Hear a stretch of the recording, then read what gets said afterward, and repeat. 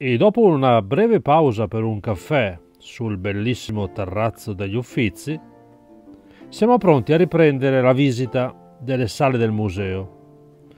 Per questa seconda parte del tour ci facciamo accompagnare dalle melodie dei madrigali, molto in voga nel Cinquecento nelle corti italiane, cercando così di riprodurre l'atmosfera di quel periodo.